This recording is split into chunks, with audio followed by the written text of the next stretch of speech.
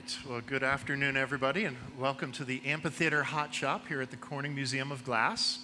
Uh, we have a, a, very special opportunity for you today. We have uh, a very special visiting artist with us. This is John Zinner, and he is visiting us from Lauscha, Germany. Uh, Lauscha, Germany sits in the Thuringian region of eastern Germany, uh, in the middle of the mountains, beautiful area, and a very long history of glassmaking.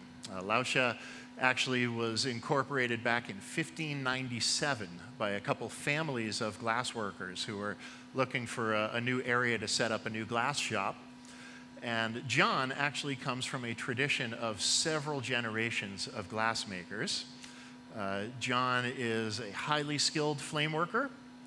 Uh, he began his education in glass at the vocational glass school in Lauscha uh, where they actually uh, have high school age kids who are learning to work glass at very high levels. Uh, they, they start off learning the traditional uh, glass Christmas ornaments that Lauscha has become quite famous for. They, they first invented the glass Christmas ornament there in the, the mid 1800s. And uh, John learned to make ornaments. Those are some of the first things he ever learned. But uh, he really found his voice in figurative sculpture. And he's particularly well known for his devil figures. And uh, he was working away this morning and made a male devil figure. And what he's going to make for us this afternoon is a female figure to go with the, the male figure. And uh, John is working in soft glass. This is soda lime glass that comes from Lauscha, Germany. There's uh, one glass factory in the center of this little mountain town that produces all the, the glass rods and tubes that the flame workers then use. And uh, those of you who are used to seeing red glasses might notice how brilliant this red is. Uh, that Lauscha glass red is a particularly special version of red glass. And it works great for John's devil work. So he is working soda lime glass. Uh, probably a, a, lot of folks watching on the internet are a bit more used to either seeing us work with borosilicate glass or working borosilicate themselves. And uh, we don't often see people sculpting soda lime glass on the torch at the scale that John works at. I, I, know maybe of a handful of artists around the world who, who work on this scale at the torch with soda lime. It's very difficult to do. Uh, soda lime glass if you heat or cool it too quickly or unevenly, will crack. Uh, so, as you're working through a, a bigger sculpture, uh, if you're not working in just the right order and certain areas get cold and you try to go back to those areas with a hot flame, uh, this flame is probably pretty close to 3,000 Fahrenheit. If he goes into an area that's too cold, the glass will crack. So, John works in a very specific order. He starts with the hip and the butt area, gets that all built up. Then he starts to work down the legs, as you can see. And once he's got the legs finished, he'll start to work the upper body. Now, as we look at this red glass, it really tells us a lot about temperature. Uh, as the red gets hot but not quite molten, it looks black. So when the glass is molten, it's that bright orange. But as that black starts to fade out, he knows those areas are getting cool and it's going to be hard to go back into those areas with heat. So that'll help you to sort of keep score as to where John can get back to within the sculpture through the process.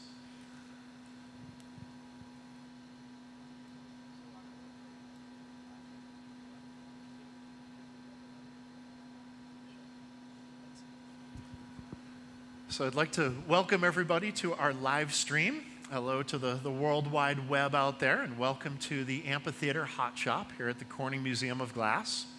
Now, typically in our hot shop, you see us uh, working glass out of furnaces and, and larger ovens. Today, we have a, a, very special guest artist here. So, this is John Zinner, who is joining us from Lauscha, Germany, to show us some of his beautiful figurative sculpture. It's a very unique opportunity for us to, to have John here, we're very excited. I first met John back in 2013. I was fortunate enough to visit over in Lauscha, and I made a, a couple of stops at some different, uh, different studios. And as I made my way through the town, everybody kept asking, Well, have you met John Zinner yet? because he is uh, really a, a, prized possession of the, the Laotian people over there. I uh, sort of refer to him as their rock star. John, uh, John's work has made its way all over Europe and all the way over here in the US as well. And uh, he is a brilliant figurative sculptor. Comes from uh, a family tradition in glassmaking that goes back a couple of centuries. And at this point, he has finished the majority of the lower body. He's going to start working into the upper body. Now, notice where he's holding the glass relative to the flame. Now, he's trying to heat into glass that, has, that is room temperature, essentially. You can see from the really bright red that it's room temperature. He's way in the back of the flame with very gentle heat, trying to ease the heat back into that area so you can safely start to work in there. And this will allow him to start to build up the upper body off of the top of the hips. Controlling the heat, it breaks in the right spot. So you can continue to build.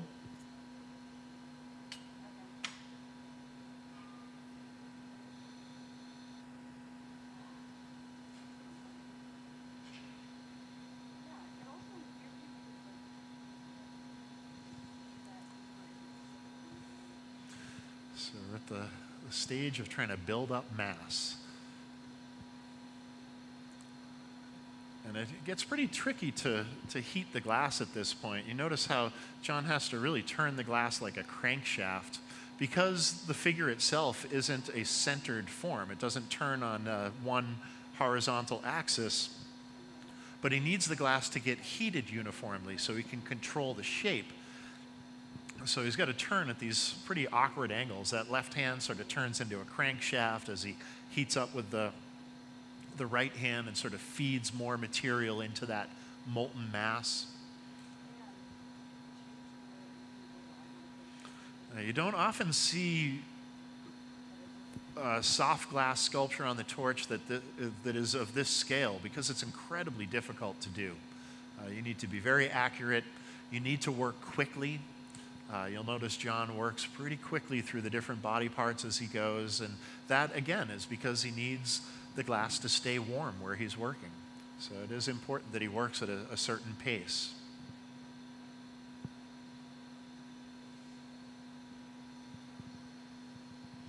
Now, the torch he's working on, there are probably some folks out there on the internet land that are wondering about this torch. Uh, this comes from a company in Ilmenau, Germany and uh, it's a gas, oxygen, and air torch. So it runs on natural gas. Uh, today we are running it with a little bit of oxygen, and that gets that flame right around probably 3,000 Fahrenheit, maybe slightly hotter. Uh, if he adds in compressed air, we don't need to use quite so much oxygen, but we can still stay in the, the same temperature range. And uh, a really good torch to work soft glass over. It's not quite as hot as uh, a lot of the torches we tend to see here in the US, where we melt a lot more borosilicate glass, so we tend to work more with propane and oxygen and work at much higher pressures. So just a, a different glass, a different temperature range. And glassworking is really all about temperature and timing, having the, the right temperatures in the right spots at the right times. Uh, John doesn't have the glass the right temperature when he goes to make the, the tail of the devil. He'll never get it stretched out and bent the way that uh, he likes to shape the tails. So when we get to that stage of the process, it'll be a very precise heating and stretching. He's also working with gravity as he goes here. That glass gets pretty soft, almost as soft as honey, so pretty fluid. And uh, if he were to stop turning when the glass is really glowing that bright orange, it's just going to start to drip and he'll lose control. So that's another reason for all that turning. He's got to control the material as well.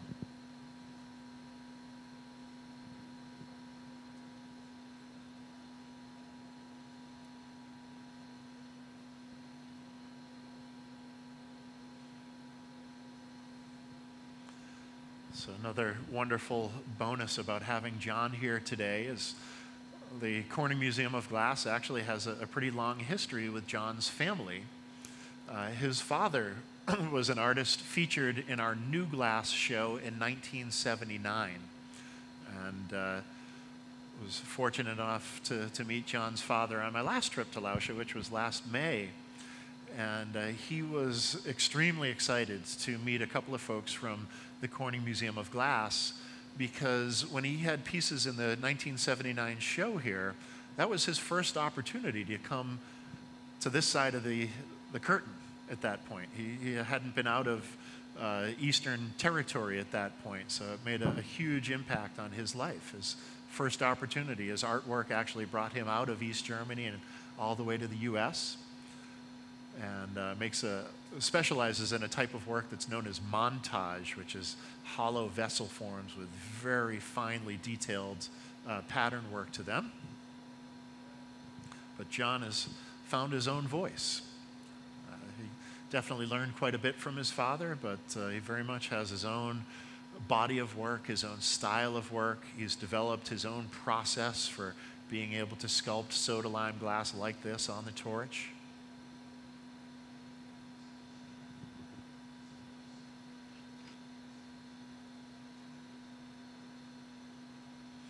He's holding a piece of graphite. Graphite is a really handy material for a glass worker. Uh, it's very soft, so it's easy to cut or carve to, to any shape you might need, and it accepts the heat really well. Uh, it's not gonna not gonna crack with too much heat, and it also doesn't stick to the molten glass. Uh, most other materials, as they heat up, they'll tend to stick to the glass. Graphite does not. So it's really handy for us glass workers. Uh, the catch is it is really soft and it does crack pretty easily. So uh, if you're making things like molds that you really need to hold up for a long time, graphite works for a bit, but you might be better off with uh, bronze or steel for a, a longer lasting mold than graphite.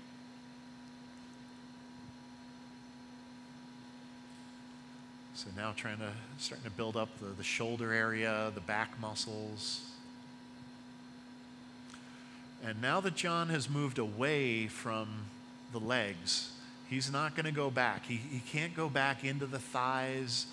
And in the next few minutes, as we see the, the hip and the midsection come back to that bright red, he won't be able to go back with any heat to those areas either. So, order of process, again, absolutely crucial.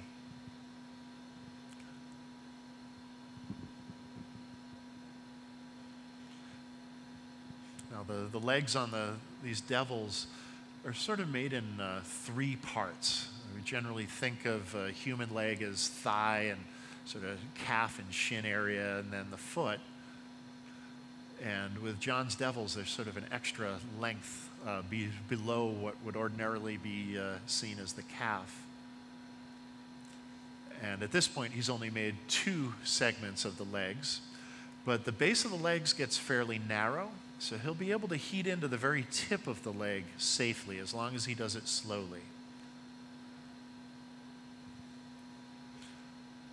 There are a lot of interesting rules that glass sort of forces you into but as you get a better feel for the material, you, you start to find ways to work around those rules.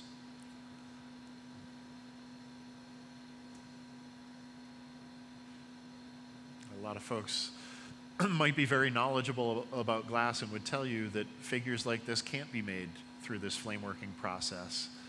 And uh, the, the fact is, it just takes a very specific order of process to be able to get away with it. Here in the US, we have a, a lot more folks working in borosilicate glass, but in Europe, especially Central Europe, uh, there are a lot of folks who work soda lime glass. That's been their tradition for a long time, and they're, they're sticking with it. Uh, most of the artistic flame workers that I've met over in Europe do work in softer glasses. So setting up the chest and the breasts here.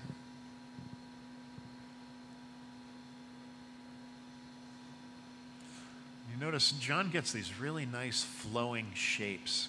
And that's, uh, I think, another big benefit to working in a, a softer glass. The glass really flows. He really gets it hot and soft enough that it flows, so it lends itself to really nice curves and those flowing, sort of long forms on the legs and the arms. Uh, it's helpful to have that nice flowing glass for the, the chest details as well.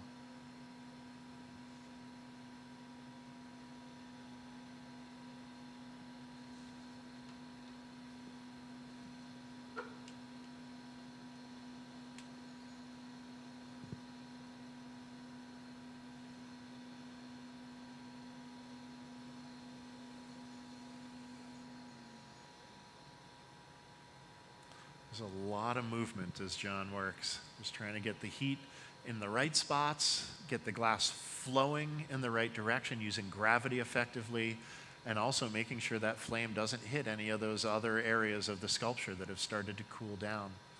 So the, the more parts he gets attached, the less room he has for error. There's uh, sort of less room to get the flame in where he needs it without hitting those other more sensitive areas.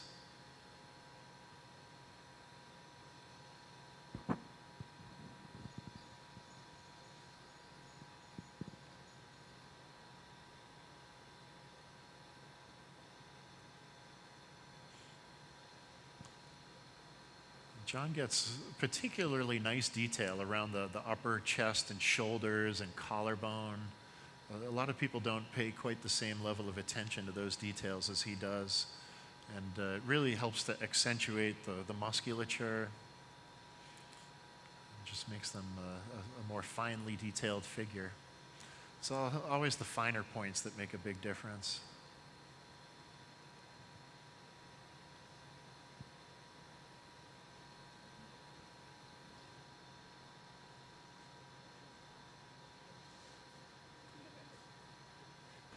All so we have a, question from the World Wide Web. People wondering if this glass has to be annealed.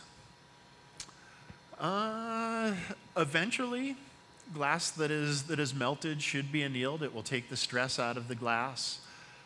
John works in such a specific order as he's sculpting that he is relieving a lot of the stress as he goes. Uh, stress is built, in, built up in glass by uneven heating and cooling. So different areas are heated or cooled differently, so they expand and contract at different rates and they push and pull on each other.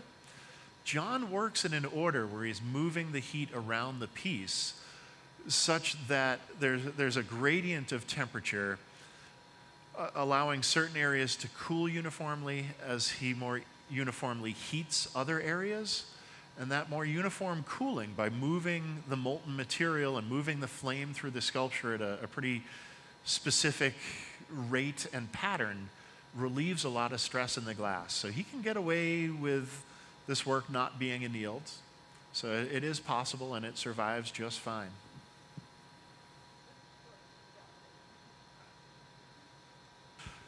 And another question for the web What torch is John working on?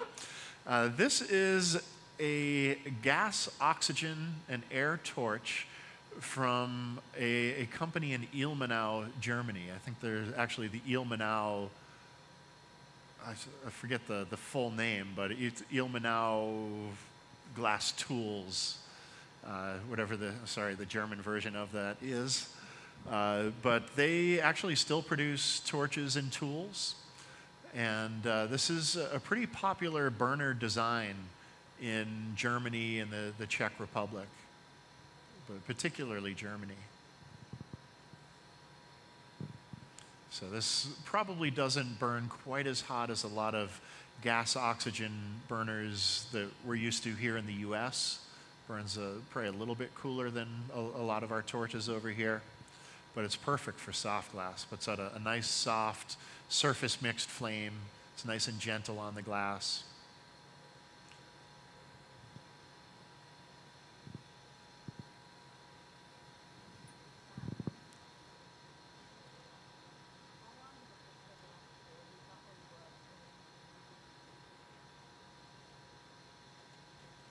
Another question for the web. how long does it take glass to cool? Depends on how thick it is. Uh, I know somebody was concerned that John was just working on the legs a few minutes ago and now he's holding the figure by the legs. Well, those legs are cool enough to touch. Uh, it's not very thick in that leg area, so it cools within a few minutes, uh, maybe 10 or 15 minutes. It's cool to the touch. It just gives him a, a better grip on things. Uh, as you can imagine, as off center as this object is, with just that one handle off the end that's maybe eight millimeter in diameter, takes more torque to try to move the whole piece with that thin handle. So he's got much better control with the grip around the legs there. So now building in a little bit, bit of material for the neck, getting that started in here. You can see he's got the shoulders set up for a very wide arm position. If your, your arms are up in a figurative piece, your shoulders are going to be up, and the further up your arms are, the, the further up those shoulders are going to get. So you start to get a, an idea of where he's going with this piece.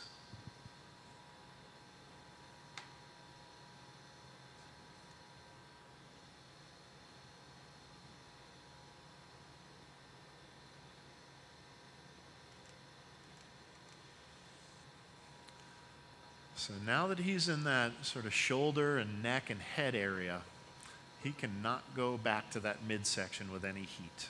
Uh, if he tries to heat back into the hip area, the whole piece would explode. One spot would expand faster than the rest of it, and it would just send a shock wave through everything.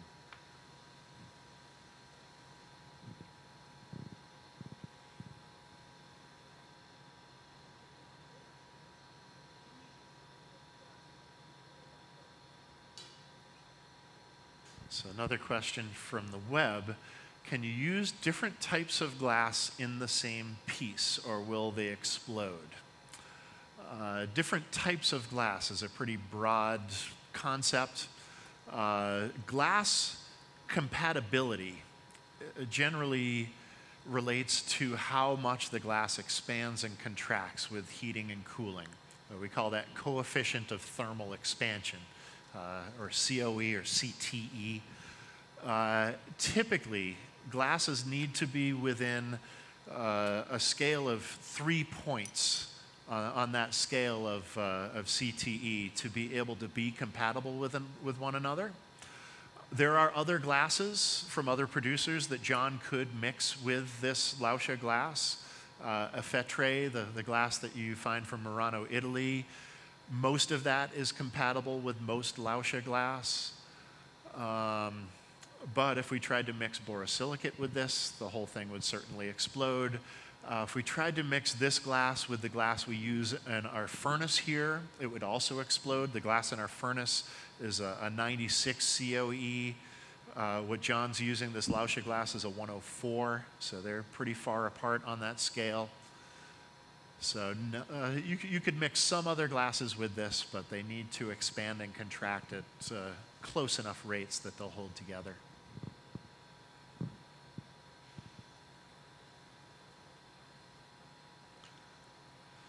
So John's already sort of carved in some of the armpit detail before he starts to, to build out the bicep. Really smart way to go about it.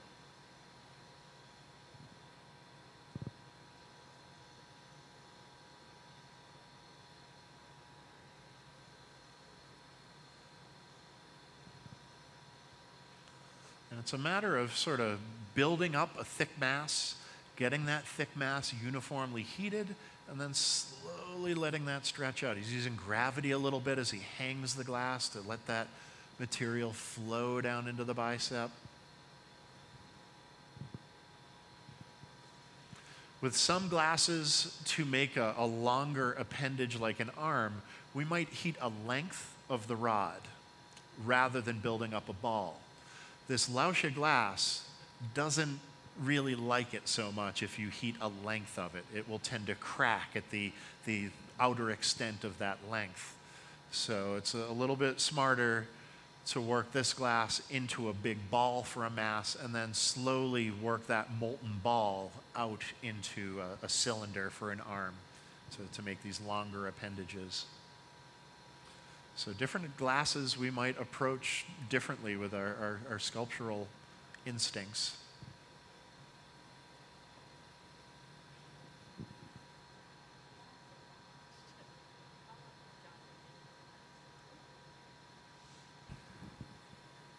This is a, another good question. How many years has John been making glass for?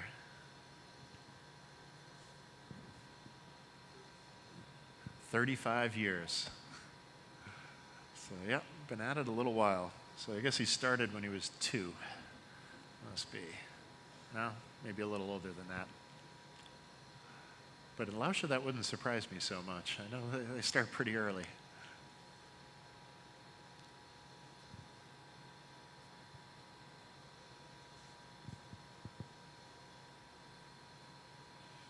So again, building up mass, trying to eye out how much material that ball needs to be so that when he stretches the ball, it becomes the right diameter for the, the bicep.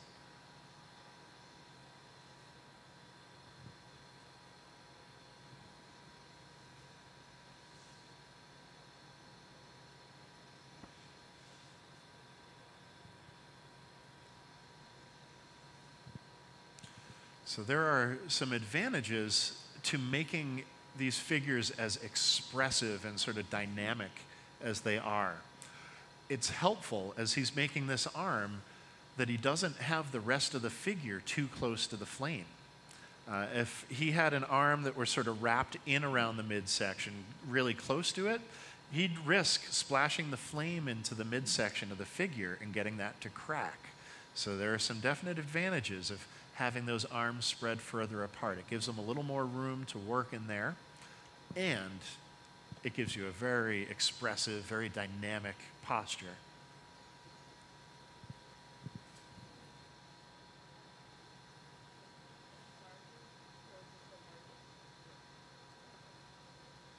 So, another question off of the web is this the largest work that he makes, or does he go any larger? He goes quite a bit larger. Uh, I know I saw a, uh, an image of a skeleton piece that looked like it was probably a couple feet tall. Uh, he likes to make some alien figures that are similar to sort of Giger style uh, alien figures. And I know some of those get enormous as well, a, a couple of feet in height.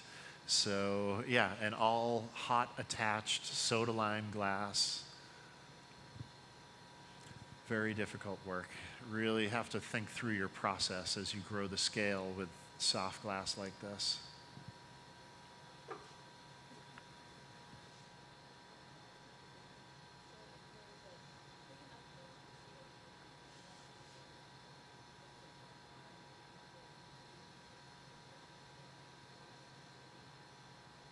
All right, and another question about compatibilities in glass. Uh, if the coefficients of expansion are far enough apart, could it be dangerous to the glass worker? Huh.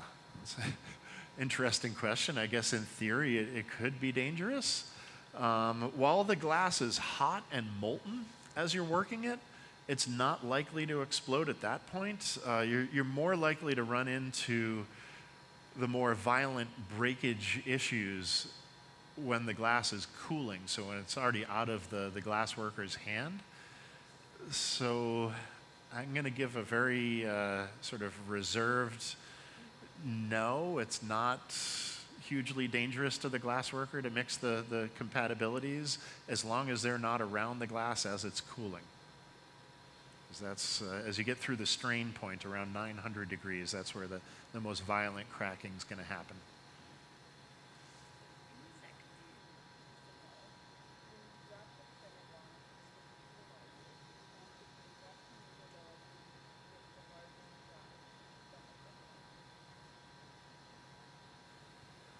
Another web question here.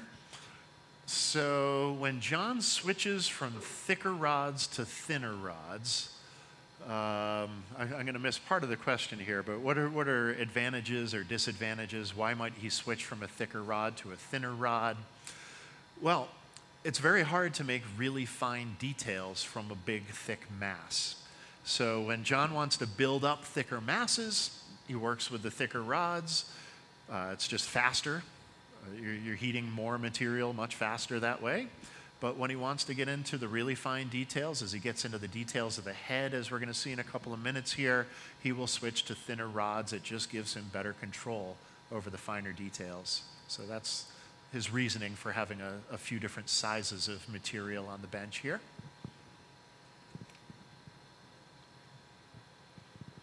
Oh, the internet is buzzing with questions today. Not bad. We like that.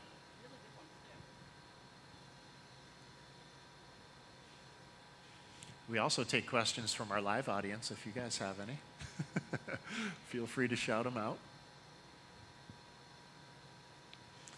So I'm curious if anybody is watching over in Lauscha, if they'll shoot us a message. You, you getting any messages from Lauscha?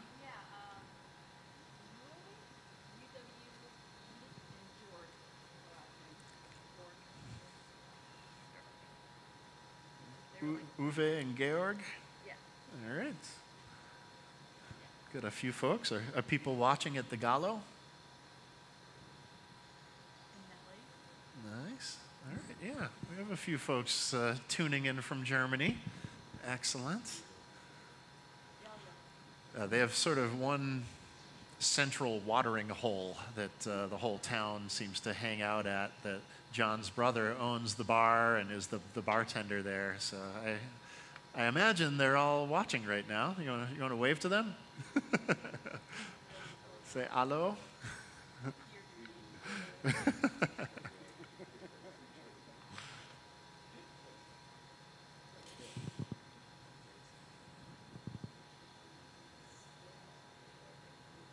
Very excited to have an opportunity to have John here.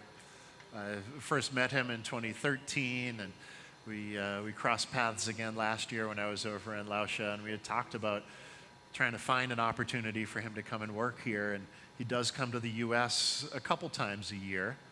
And uh, thankfully, our, our dates worked out. We had the, the amphitheater open today, and we have the, the pleasure of having John uh, make his incredible work here today. So now we're going to start to really get into some, some detailed sculpting here. At this point, he's focused just on the head. He's not going to go back to any of the other details below the neck. Uh, eventually, he will work out to the arms, but the arms are further away from the mass of the body. And when he wants to heat into the arms, he can very slowly heat into the tip of the elbow and be safe. But at this stage, we want to keep it, heat away from other areas, focus where the real detail is going to happen.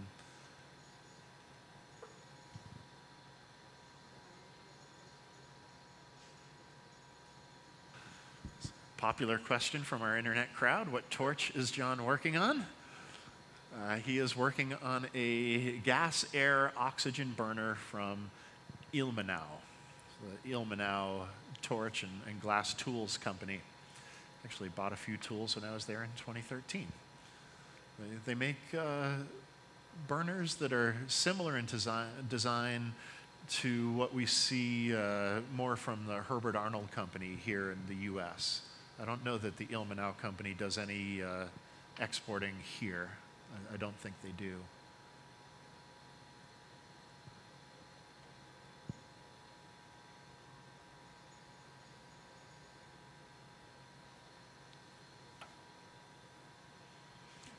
Yeah, so now you really get an idea of why John works with different size rods, trying to get in fine details. He's got a much thinner rod, so he can really get in there and create those details.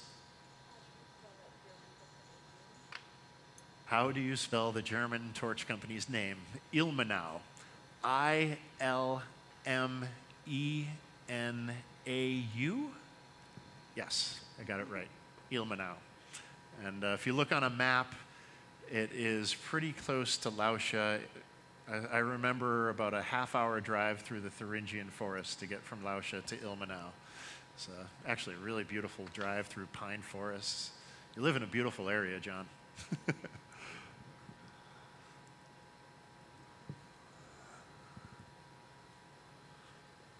on this last trip to, to Lauscha. We were traveling from Dresden to Lauscha on May 10th. And May 10th is a, a special day in Thuringia. It's called Männerstag, which is Man's Day. And uh, what happens on Männerstag is the guys load up a backpack with uh, their favorite libations and head for a hike in the woods and go, go have some drinks in the woods. And then uh, eventually they, they come back to town and the town gets pretty energized. so, as we were driving through these crazy hilly roads, uh, through these really steep mountains in Thuringia, uh, first thing in the morning, maybe 8 in the morning, we're seeing groups of guys with backpacks on, already well into their festivities and, and headed off to the woods. It was uh, a pretty unique scene, I have to say. You guys know how to celebrate.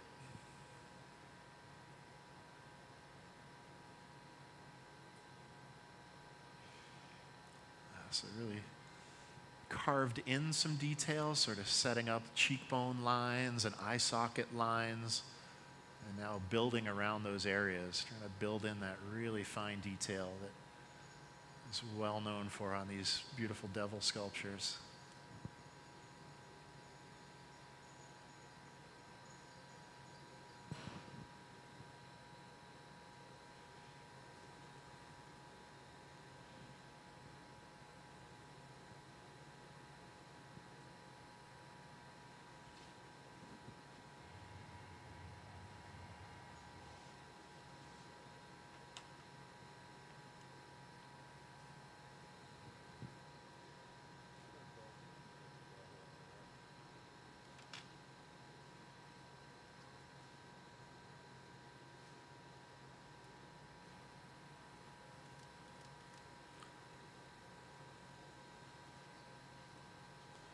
You see a lot of different approaches to, to sculpture.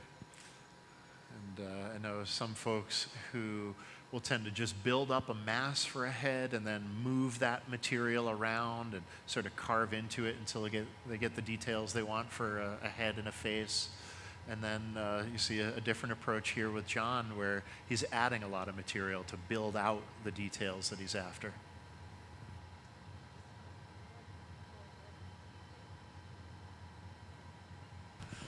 The internet is curious to know what color red John is using. This is the opaque red that the Farbglashütte Lauscha produces. So this is made in Lauscha at their factory there. Uh, it's a 104 COE, beautiful opaque red. And uh, I, I, really have not seen many reds like this. It's uh, really beautiful, stays brilliant and vibrant after multiple heatings. It's a, really great red. If you're if you work in the the 104 COE palette, I highly recommend checking it out. Uh, definitely is imported here to the U.S., so you, you can find it. So John's going to press in the, the eye socket here. We had major concerns earlier today where we weren't sure where this uh, eye socket tool was. So you get into these habits as a, a, maker where that right tool is the right tool. You, you need that to make your detail the way it is your signature to make your work. It makes a big difference.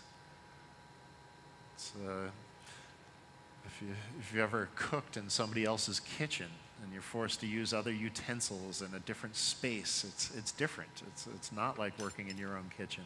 Same deal with a glass studio.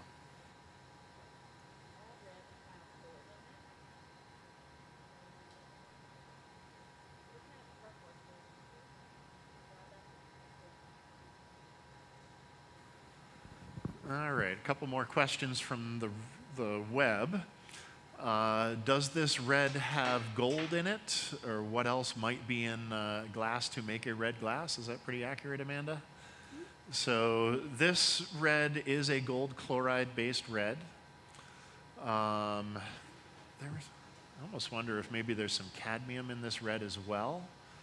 Uh, opaque reds you will see some cadmium added in different compositions. Uh, you can also get a red glass by adding copper oxide but a copper red tends to be a little more on the, the brownish side. Uh, in borosilicate glass, a really dense opaque red is going to be cadmium based. So there are a few different ways to make a red glass. What was the other question?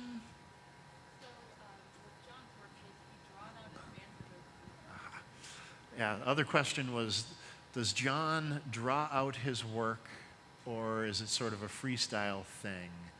It's mostly a freestyle thing. Um, he uh, doesn't, hasn't drawn these out, but he's made figures like these many times. So he definitely has a vision in his head as to where he's going. But there is some improvisation as he goes along. There, there are definitely times when he, uh, he'll make some impromptu design decisions.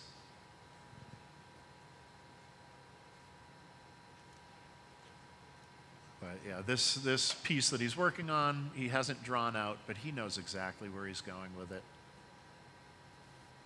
So now adding the, the devil's horns.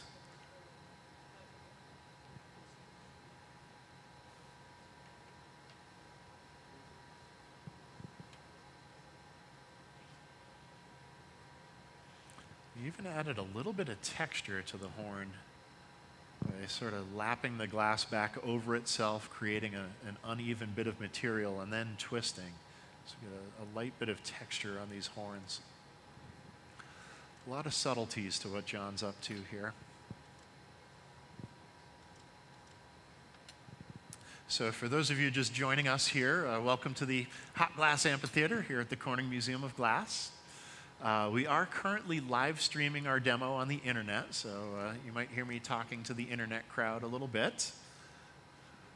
And uh, typically in this shop, we have traditional furnace style glass blowing. We've got our big furnaces and big ovens back here. And typically, you're going to see us making uh, bowls, vases, some small sculptures in here, some goblets.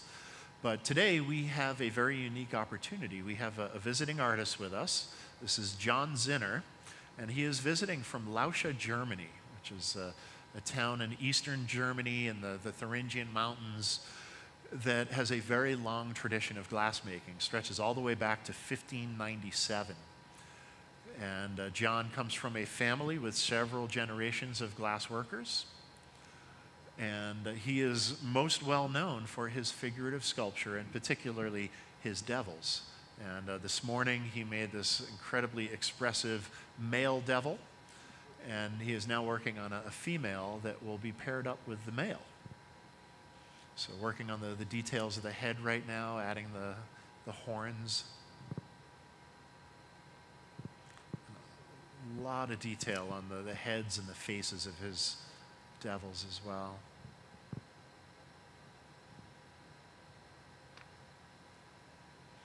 So, the torch John is working on, uh, it's built in Ilmenau, Germany, which is pretty close to Lauscha, about 30 minutes away. And it runs on gas, oxygen, and compressed air. Yeah. Okay. Mm-hmm.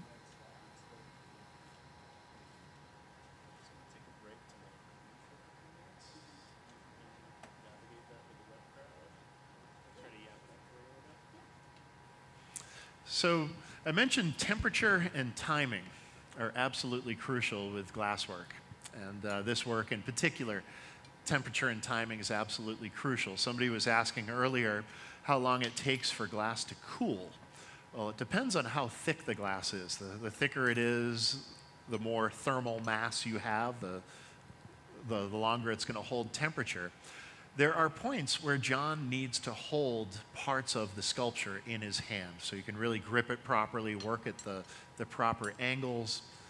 And uh, at this point, we need the head to cool down. So then he can uh, grab sort of the, the upper midsection, continue on the, the legs from there. So we are in a little bit of a holding pattern for a few minutes here. We're going to let this cool for a, a few minutes. Uh, if anybody on the web has questions, this is a particularly good time to hit us with some questions. And so, uh, another addition to, to John's work setup here is uh, he has a, a, little burner on the, the top of the bench that has just a little gas flame going. That's just straight natural gas flame. And uh, it's really important that he pre warms the tips of the rods that he's working from. Uh, if he doesn't, as he puts that glass right into the 4,000, or sorry, 3,000 degree torch flame, the glass just starts cracking and it'll shatter little bits all over the place. So that, that pre-warmer is something that you will see really in every, every flameworking studio in Lauscha and, and many across Germany. Uh, preheating your glass is a crucial component. And there are other soda lime glasses that are similar to the glass from Lauscha that you can get away with heating them gently in the torch flame and, and you'd be okay. You can sort of get away with it. My experience with the Lauscha glass, you cannot cheat it like you can with uh, some other glasses. It really requires this, this pre-warming.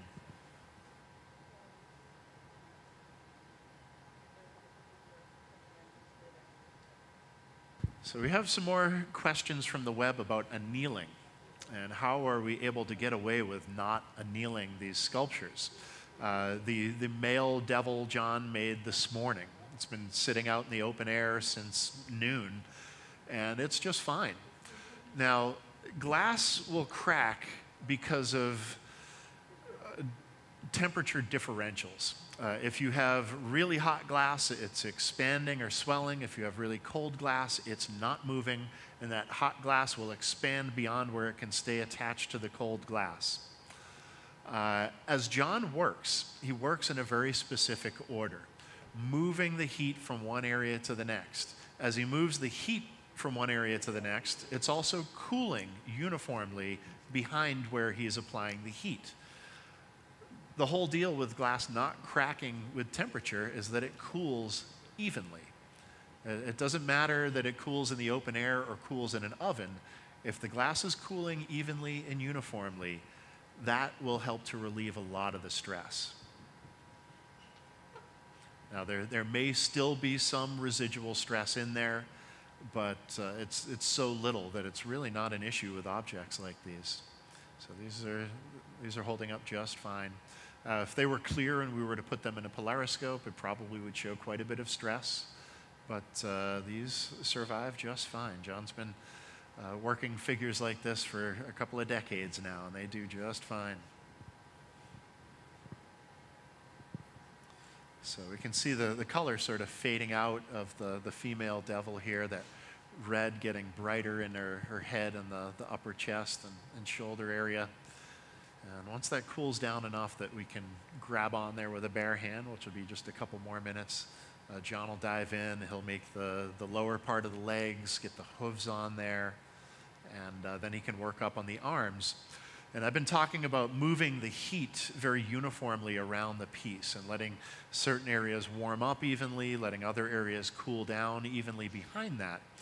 Now he's going to go back into some fairly thick spots, the, the ends of the, the biceps where the, the elbow is. That glass is pretty thick there but he's going to ease into those areas very gently with the heat and he can actually watch how the, the color in the glass changes as it, that red gets more livery and eventually gets to, to look almost black. He knows it's warm enough he can get more aggressive with the torch. So uh, just knowing the nature of how the, the glass colorizes uh, as he's heating it is a, a pretty good idea when he can apply heat when he can't. And by setting up certain shapes and by setting up the, the points on the ends of the, the bicep makes for an easier shape to heat into. So there's a, a lot of subtleties that you can get away with. You have a question? Excellent.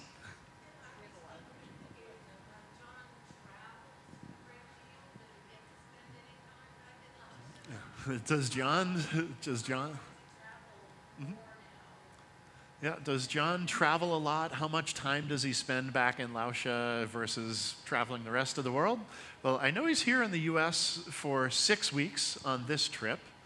And uh, aside from when he comes to the US, he's mostly at home, right? Yeah, he's, so maybe a third of his year he's traveling?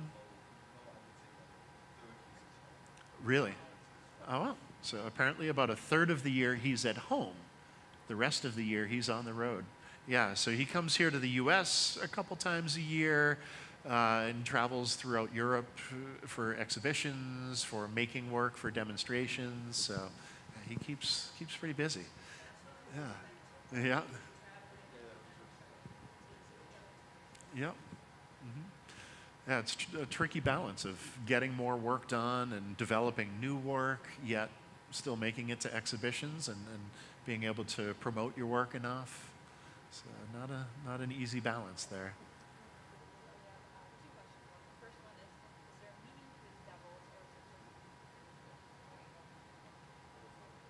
So, is there a meaning to John's devils, or is it just something that he likes to create?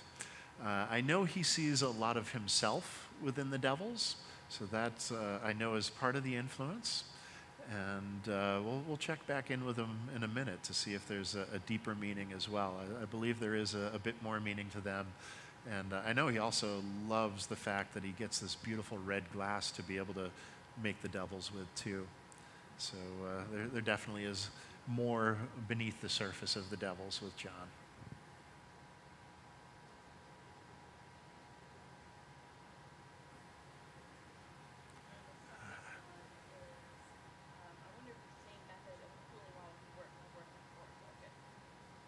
So there's a, another question from the web wondering if you work borosilicate glass through a same order of process as to what John does with soda lime, uh, could you get away with the, the similar annealing habits that John has?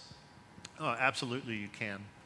Uh, I can tell you from personal experience that I, I sculpt my human figures in a, a, very similar order in borosilicate, and it saves you a, a lot of trouble. Uh, you really can get away without uh, needing to work in and out of an oven the whole time. So if you just work in a, a proper order, you're moving the the heat to the right spots at the right times, uh, you really can make some enormous sculptures without worrying about annealing as you're working.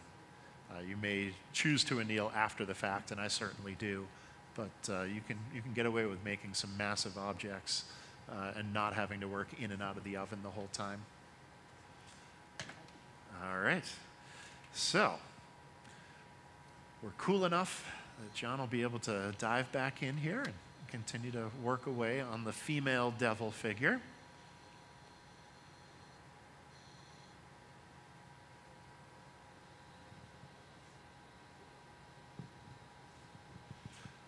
Uh, so now, cool enough that he can grip where he needs to to really control everything.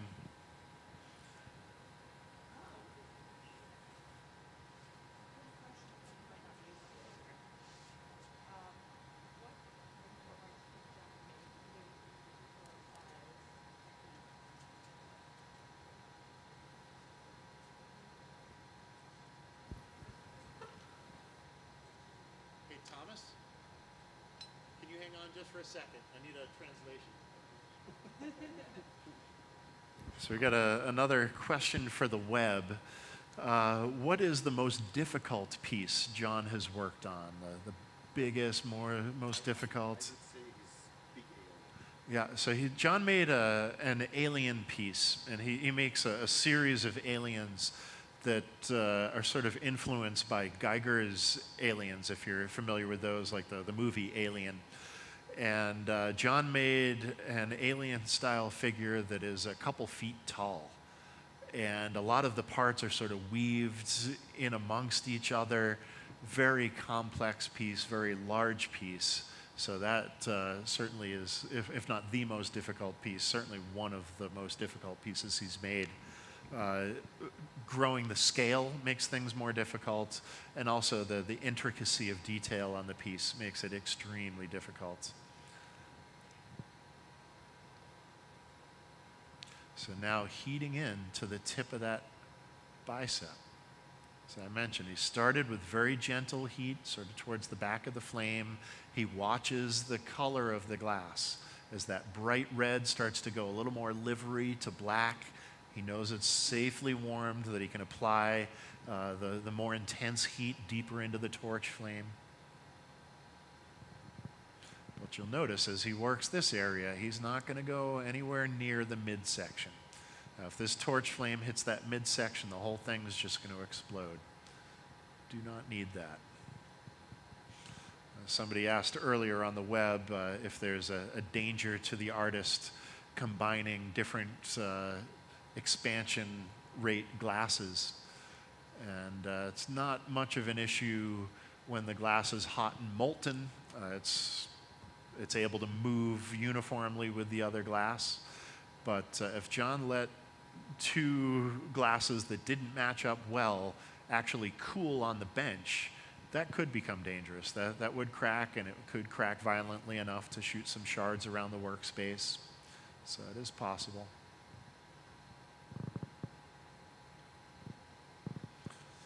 So building up mass, trying to get it uh, worked into the elbow area so it's nice and uniform through the elbow. But now he'll start to warm up that big thick mass to stretch it and elongate it.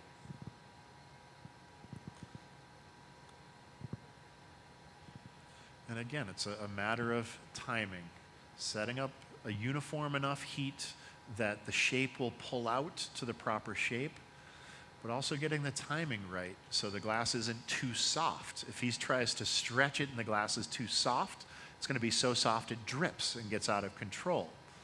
So as he's stretching, he's sort of feeling out how much that glass is moving, using gravity a little bit to let it sort of fall to where he wants it to fall to.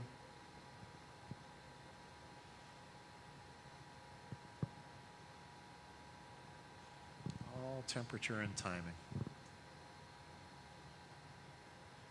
And at this point, you see how far John's hand has crept up the, the devil's body, so he has a good grip to really control it for adding the arms. Uh, if he tried to grab that area eight minutes ago, wouldn't have worked out very well. Would have been way too hot.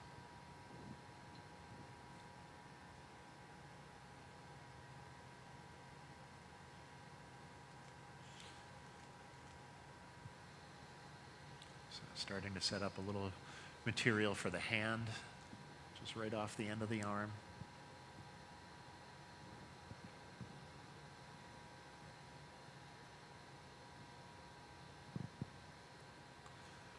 And again, the, the coloration or discoloration of the glass really gives you an idea where that heat is. Uh, you see the, the bicep on that left arm, it's sort of blackish about halfway along it if that blackish tone were to get all the way to the shoulder, we'd be in trouble.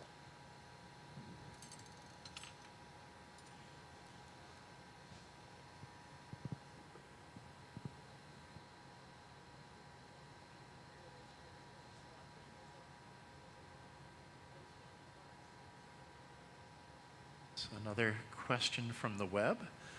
Why is John not wearing a face shield and gloves? Uh, well, first of all, uh, he doesn't need a face shield. It's not that hot around his face. Uh, and he's not really creating too many shards, so we don't have to worry too much about a face shield. Uh, and as far as gloves go, John really needs his dexterity. And uh, if he had gloves on, it would really inhibit that dexterity. He's going to make some really fine details here. And uh, he needs to really feel that glass. He needs to be able to control it in his fingertips. And also, glass is an insulator, it doesn't conduct heat. So even though he's getting one end of that rod 2300 Fahrenheit, just a couple inches away from that area where he's applied the heat is room temperature. So glass is a lousy conductor of temperature. It's actually a very good insulator. That's why we use it for insulation in our homes. So yeah, it's actually pretty rare to see a, a, glass worker wearing gloves. Usually we need that dexterity, we need that feel too much, and the, the gloves really get in the way.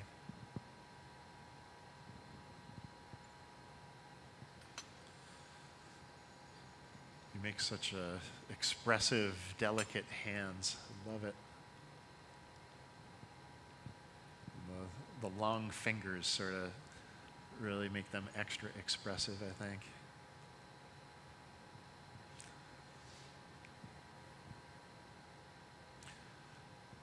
So if you're wondering what's going on here, uh, we are in the, the hot glass amphitheater here at the Corning Museum of Glass. And typically in this space, you're going to see furnace style glass blowing. We use these big ovens and big pipes and rods and uh, make larger objects, uh, things like bowls and vases, like what you see on the end of the stage here.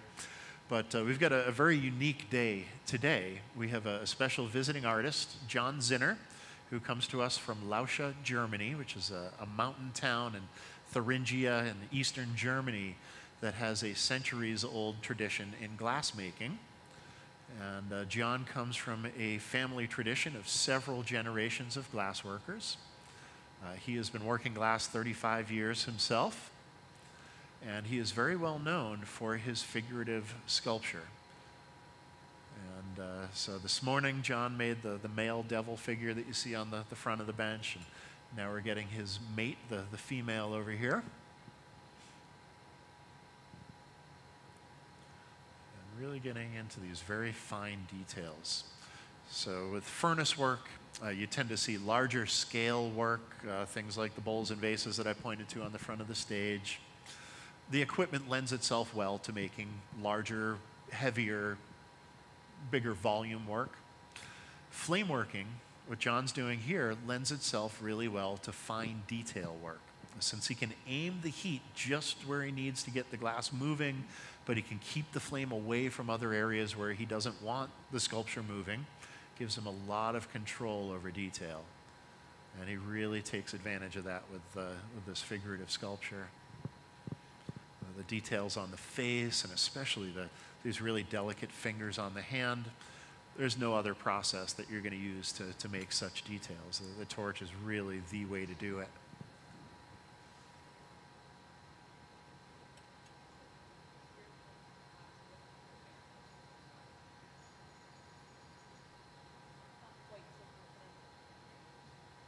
So, another question from the web. This is a tricky one is European glass different than American glass?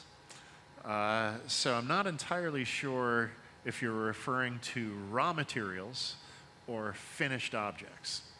Uh, as far as raw materials go, there's not really that much of a difference. Uh, uh in the US, flame workers tend to work more with borosilicate glass, so that would be one major difference. Uh, but uh, the same objects are entirely possible in, in either glass, either soda lime or borosilicate. Um, yeah, we don't, we don't produce much soda lime glass for flame working in this country. There's a lot more borosilicate produced in this country for flame working, so there are definitely some differences. Okay, we just got a clarification. Raw materials. Uh, uh, pretty much the same raw materials are available in Europe as are available here in the US. It's, uh, it's definitely a, a, global industry. So the, the glass that John is working with, that gets imported here to the US. You can purchase Lauscha glass from distributors here in the US. And you can purchase American made glasses from European distributors as well. So it's, it's all out there and available.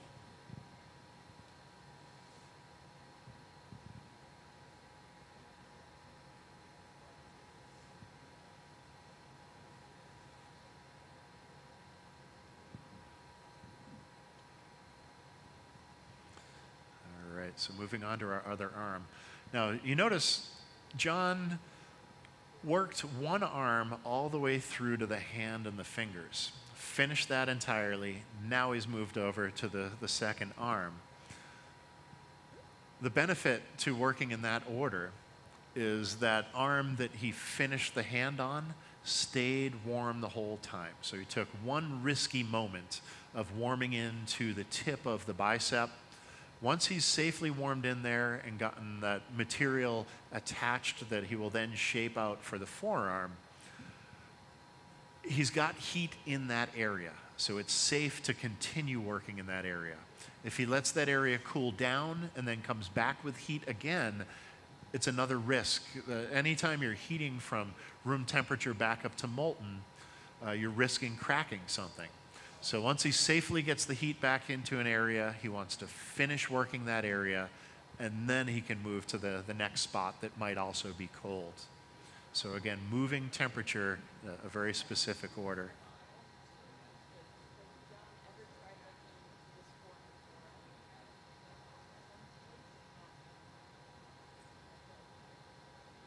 So the web is filling us with questions. Perfect.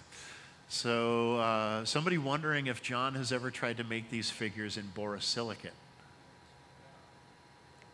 Uh, don't think so. No, he, he tends to stick with this soda lime glass. This stuff is made right in the center of his hometown. So, uh, why not just stick with this glass? And Amanda? What was the second part of that?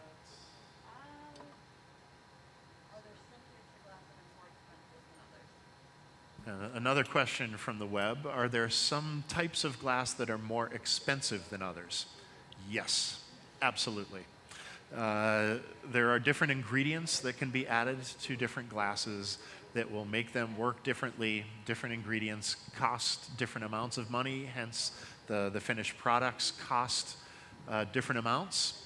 Uh, a quick comparison uh, the rods that John is working with here, this beautiful red, uh, what does that cost per kilo? Maybe 50 bucks a kilo, somewhere around there. Uh, whereas a, a, similar red in borosilicate is going to be about twice that. So that, that gives you an idea of the, the potential range. And we, uh, we also do a demonstration here on making prosthetic glass eyes. And that glass also comes from Lauscha. And the red that's used for the veins on a glass eye for prosthetics is 2,200 euro per kilo. That was the most expensive craft glass I've ever seen listed in a catalog by, by far. So, yes, different glass types can certainly have uh, quite a broad range in expense. Yes, ma'am. Do we have any of John's work for sale here in Corning? We certainly do. Uh, as you walk out to our sort of lobby area and just enter the, the glass market, you will notice there are some vertical cases as you're starting to walk in. The first case is right there. We've got several of John's pieces. Yep, there are uh, a few different dancer figures in there. Yeah, yep, have a, a nice selection of stuff.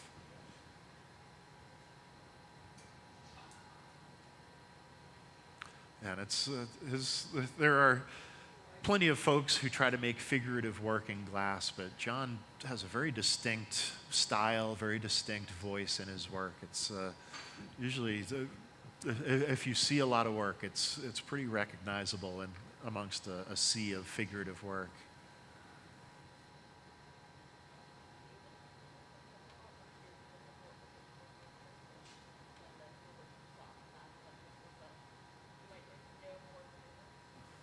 So, another question from the web How easy or difficult is it to work with crystal? Uh, so, you won't typically see crystal worked on the torch. Uh, crystal, uh, I should back up a little bit. Crystal is simply a, a different type of glass. Uh, crystal is typically a glass that has a lot of either lead oxide or barium oxide added to it, which makes it more clear and more brilliant. Um, because it is more brilliant, more, more clear, it will show defects that much more brilliantly. So any sort of a defect is really magnified in crystal. As you heat crystal on the torch, oftentimes you will affect the surface of the glass. You might bubble it a little bit. You might get some tiny little bubbles in there that in some glasses you might not see bubbles of that size. Crystal is so brilliant, it magnifies those bubbles and you really see them. So it is not typically worked on the torch because oftentimes you affect the surface that way. Um, so even working in other processes, crystal can be a bit more difficult because of the optics, because of how brilliant it is, and the fact that it does show any defect severely. So uh, when you're working crystal, you tend to work it very cleanly. Uh, you make sure you're not getting in, any dust into the glass as you're working. You, you keep uh, your studio facility very clean. Uh, some crystal companies will not even gather the glass out of a furnace in multiple layers like you typically would uh, in, a, in a furnace process. They'll rather uh, pour the glass into uh, sort of a mold that you then stuff the pipe into the glass and take the whole massive glass in one shot. Uh, yeah, so there are there definitely are some difficulties to working crystal as opposed to working other glasses, and, and most of that, again, relates to the the quality of the optics of the glass. It just you can't hide any blemishes at all, so uh, it needs to be worked very particularly. And Amanda thought I couldn't answer that question.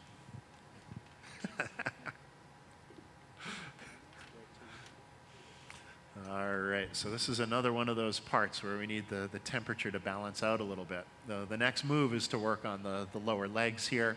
John wants to grab up towards the, the head and the chest area to be able to really handle things here. So we want that to cool down for a couple of minutes there. Again, timing absolutely crucial with this stuff. So we can get a, a feel for how these figures are going to be coordinated together here.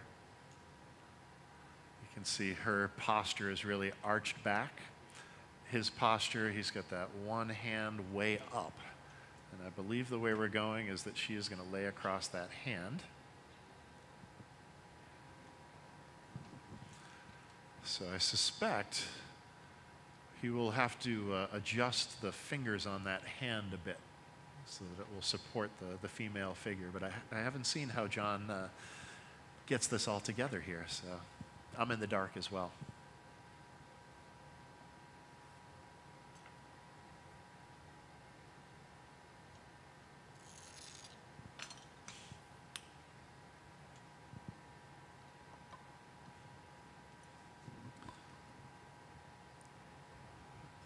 So back to the, the topic of crystal, that used to be a very important topic in this space here.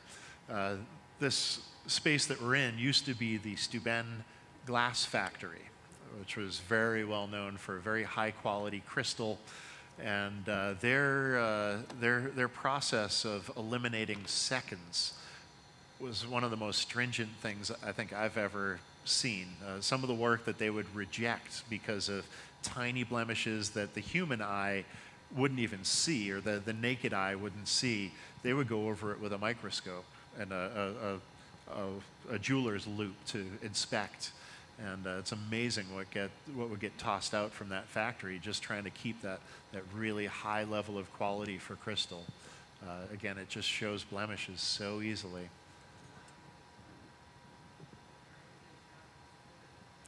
Why did Steuben stop? Uh, market influences uh, became a very difficult business. It's a, an extreme luxury good, and uh, so that market shrunk a bit. And also, they had competition. There, there were other companies popping up that were also melting some fabulous glass. So they went. They tried to. Uh, the company was sold for a little bit to Schottenstein LLC, which is a, a luxury goods company. Uh, they stopped producing Steuben a few years back, but Steuben has since been re released, and the only place to get Steuben glass is through the Corning Museum of Glass. So they are on a, a, a bit of a different business model, smaller production lines, and uh, just a sort of a, a smaller business model. And that glass is still made in this area now. So the Steuben glass does still exist.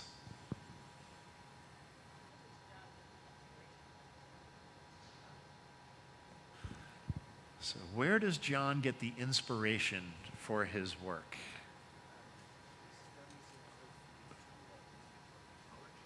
Mm-hmm. All right, so John uh, reads a lot of mythology. So, a lot of Greek mythology and, uh, yeah, and different bits of mythology make their way into his work. So, it certainly makes sense with what we're seeing here. And it seems like he makes up some, some of his own mythology with the alien figures as well. He's sort of reinterpreting and, uh, and coming up with some modern mythology, if you will. All right, so now he does actually have black glass in his hands. make the, the hooves for the, the devil.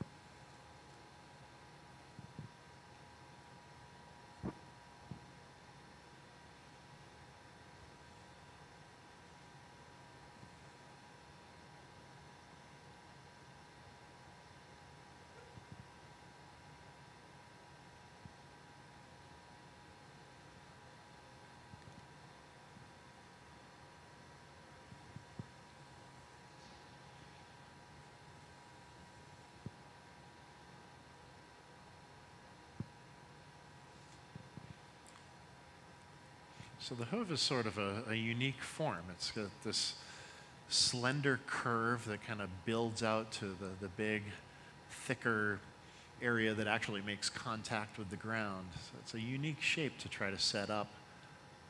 To, to start it fairly thin coming off of the ankle and then build up the, the added thickness for the, the tip of the hoof.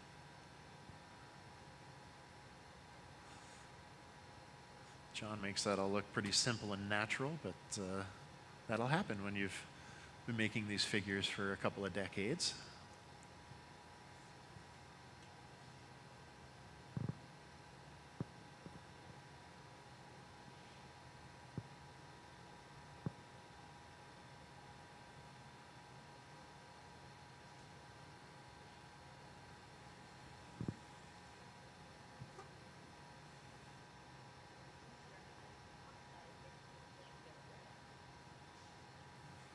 So, another question from the web uh, Is there an oxide making the flame go red?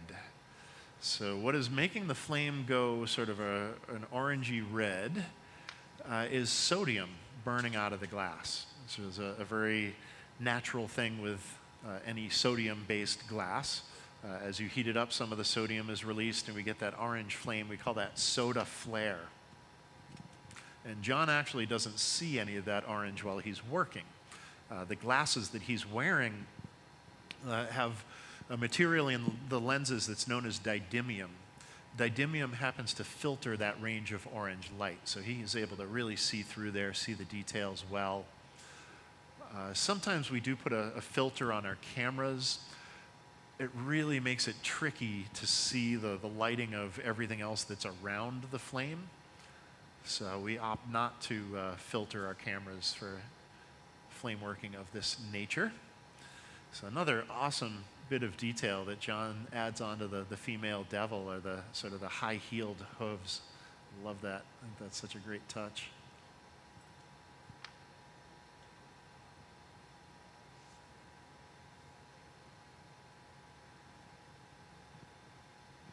So again, he's heating into a cold part of the figure but it's a part of the figure that's fairly thin and it's way further away from the thicker areas. And he starts by warming it way out at the tip of the flame, just very gentle heat. But again, with this red glass, he can watch the color of the glass. As it starts to go a little bit livery to black, then he knows it's warm enough that he can safely get aggressive with the flame and nothing's going to crack, or at least not that area.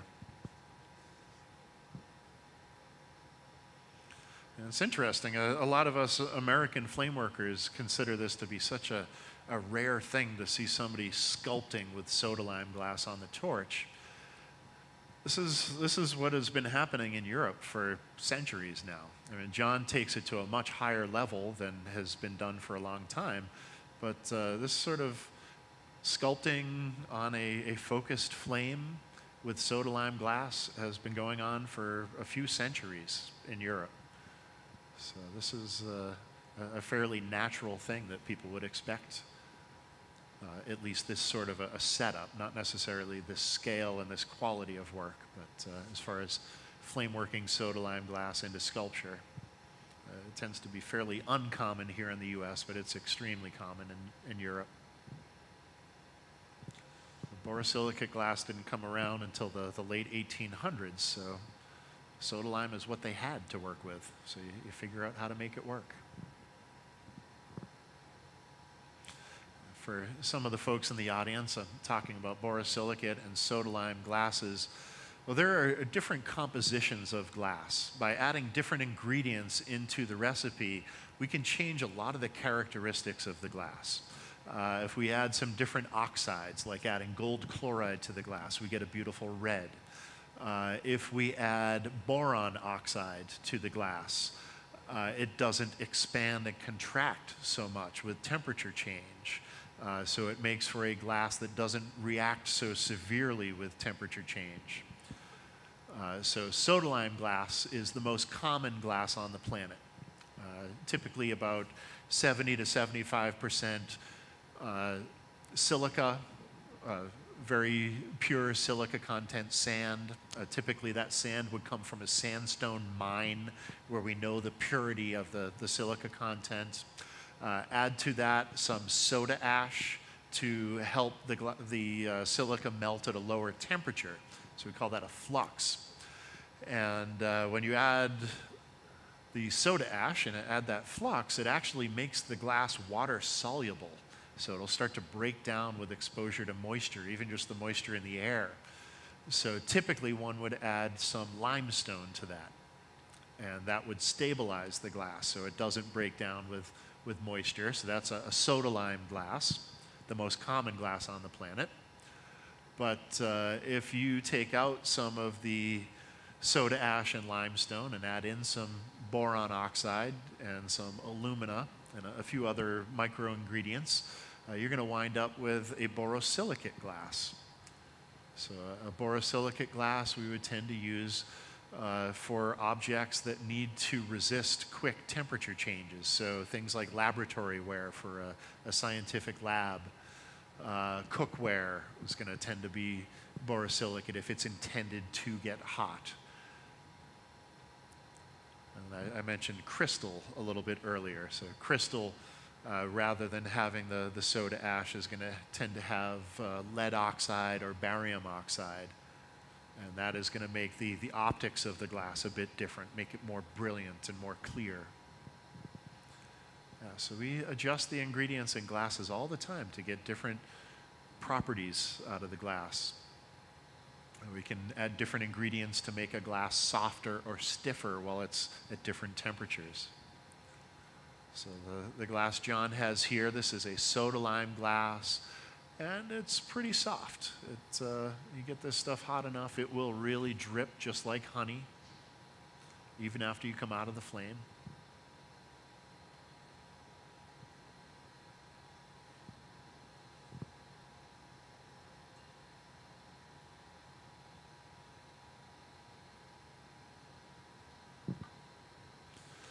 So, for those of you just joining us, uh, first of all, welcome to the Hot Glass Amphitheater here at the Corning Museum of Glass. And you have joined us on a particularly special day. Uh, typically, here in the amphitheater hot shop, you will see furnace style glass blowing. So, we'll be using these big ovens back here, making bowls, vases, some uh, small sculptures, maybe some goblets. Today, we have a very unique opportunity. We have a visiting artist with us. So this is John Zinner, and he is visiting us all the way from Lauscha, Germany. Uh, Lauscha is in the Thuringian region of eastern Germany, and uh, they have a very long history of glassmaking in Lauscha. Uh, Lauscha was originally settled in 1597 by a couple of families of migrant glassworkers who were looking for a new area to set up a glass factory. So, what do you need for a glass factory? Uh, the, you need certainly your raw materials for the glass. So there is uh, very high purity silica in the riverbeds around Lauscha. You also need a fuel source to heat up that glass, to get it molten. Uh, the Thuringian region is heavily forested, so there are tons of trees to use for, uh, for furnaces, or at least when furnaces were heated with wood. So it's a perfect area to set up a new glass factory. And Lauscha has been famous for its glass ever since. Uh, probably the most famous uh, glass product that has come out of Lauscha would be the glass Christmas ornament. They were uh, first invented in Lauscha back in the, the mid 1800s. And as the story goes, there was uh, uh, people typically at that time were decorating their, their holiday decorations were uh, nuts and berries and dried fruits, things like that, that they would string and, and place around the home or on the tree. And uh, in one particular season, there was a poor glassblower who could not afford to spare his food stash for the winter, for the holidays. But what he did have plenty of was glass. So he made himself some glass decorations for the home. And that is where the glass Christmas ornament was born. And since then, they've developed uh, new processes. They, uh, most of the ornaments that come from Lauscha are mold blown. So there's a two part mold of a very uh, tightly guarded secretive material that they still won't tell me exactly what's in there. The closest I've come to an answer is that it's a secret clay. Uh, I thought I was going to get the real answer, and then I was told secret clay, so it's an important secret. And uh, so they're two part molds of a, must be a silica ceramic clay combination of some sort. And uh, so you, you, can blow into these molds and they'll take on the, the shape of uh, different figures or even different patterns, uh, all those sort of fancy ornaments you used to see at Woolworths years ago. Anybody remember buying ornaments at Woolworths? Do we remember Woolworths? Yeah. Well, uh, J.W. Woolworth was actually a, uh, a, huge importer of glass from Lauscha, and he was largely responsible for the growth of their ornaments uh, around the world. used to go over to Lauscha and buy boatloads of ornaments and, and bring them back to the U.S.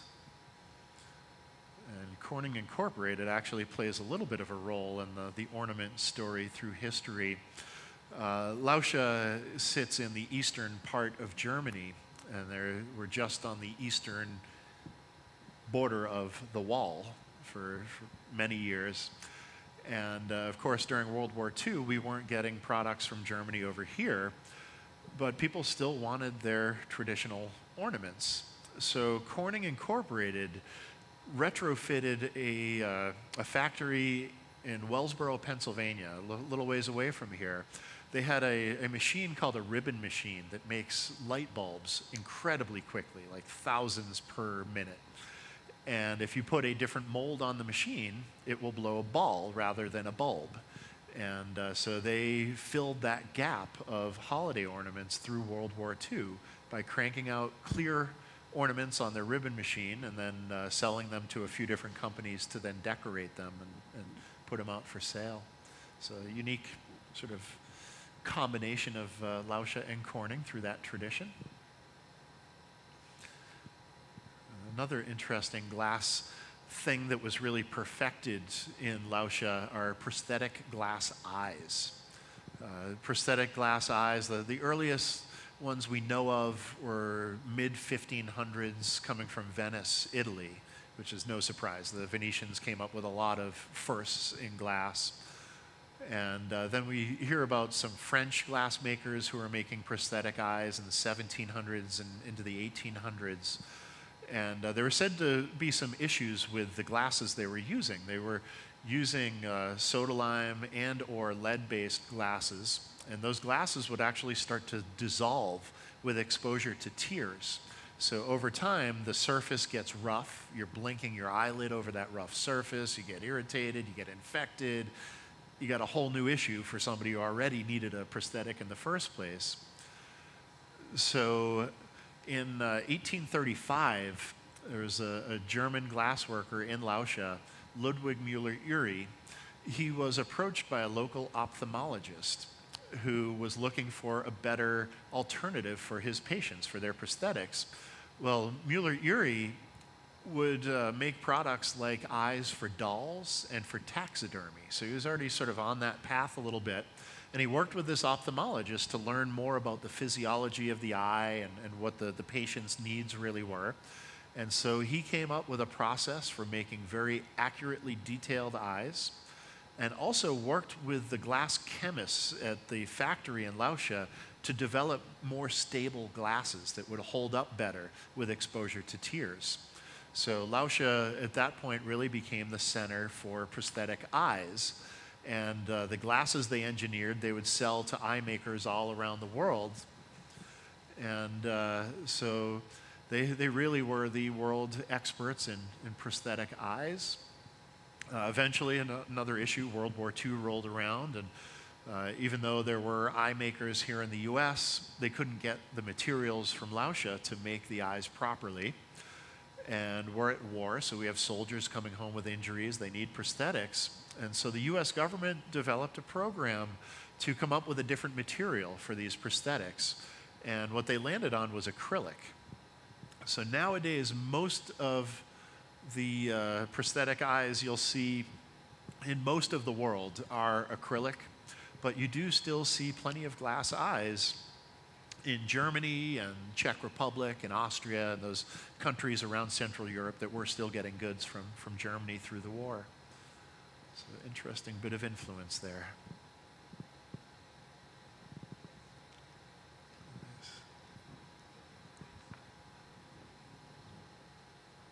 Could, a little bit louder?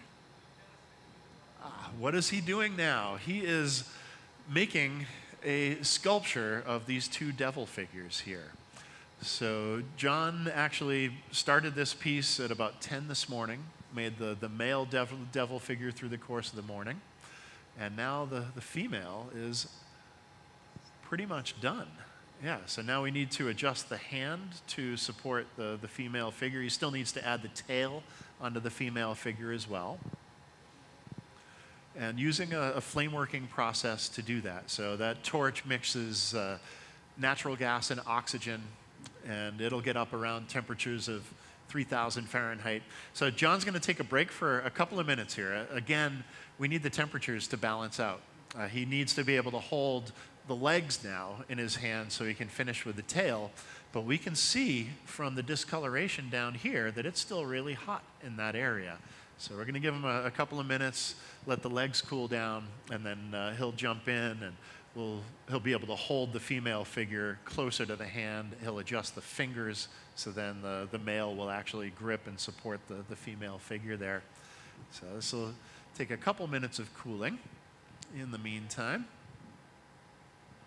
If you guys have any other questions, this is an excellent time for questions. Yes, sir. How does a certain area stay black? Like on the hooves, that's actually black glass. Yeah, so it is, it is glass that will start and stay black. Uh, as opposed to the red, which fools you, and as you heat up just a small portion, that the portion that's warm but not quite molten gets black.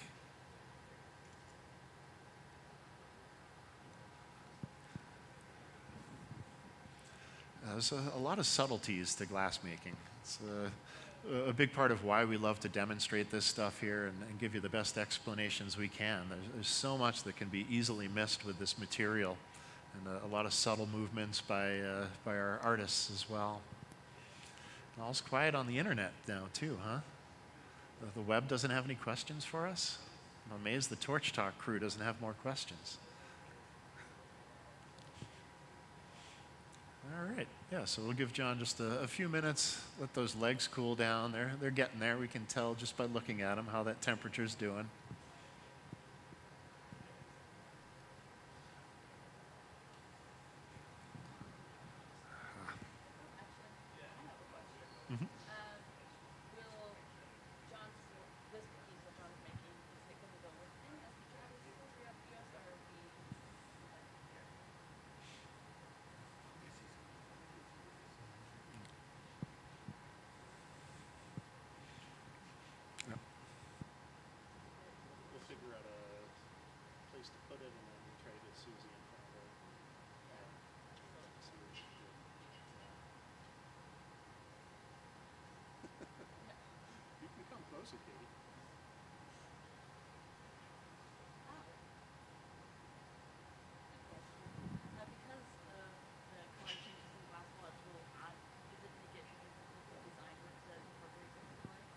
Excellent question. Uh, so somebody wondering, as, I've been talking about the way the, the color changes in the glass with temperature, is it difficult to design work because of these color changes? We just had that confusion between the, the red and the black glass. Yeah, there can be times where it does get difficult. Um, if John were to work, maybe say, uh, make a red bead and try to put black dots on it, while he's working, it, may all look more or less black, but as he hits the glass with the flame, he'll see a little variation in the glow that will tell him where one glass is and where the other one is. So you, you sort of develop an eye to what the different colors look like at different temperatures.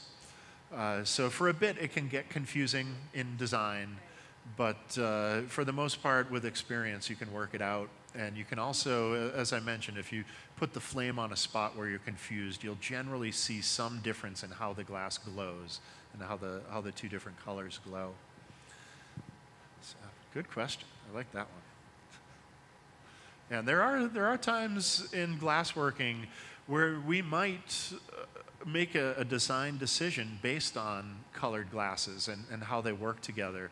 Different colored glasses might have different viscosities than one another. Uh, at the same temperature, one might be really stiff while another might be really soft. And oftentimes we have to take that into consideration. You might not want to build a certain pattern a certain way because one glass is going to be really soft and blow out a lot, while a stiffer glass might not blow out very much. So you might have a really hard time making a, a uniform vessel if you're trying to uh, combine certain colors for certain patterns.